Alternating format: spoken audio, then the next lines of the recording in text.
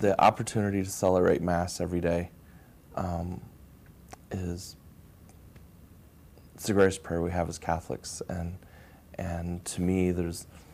no better way of of, of living your priesthood than uh, that representation of the Last Supper and, and and knowing that Jesus is is using us as an instrument by the power of the Holy Spirit, you know, to uh, make present His body and blood um, that He ultimately shed, you know, to give us salvation. Um, it's just every time it's just overwhelming uh, to celebrate the, the Holy Mass.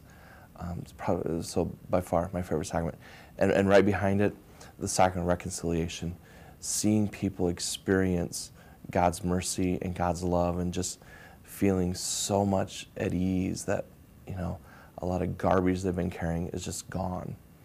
Um, it uh, both of those are just powerful experiences for me, and, and probably my two favorite uh, sacraments. All the sacraments are awesome, but uh, those uh, two really stand out for me.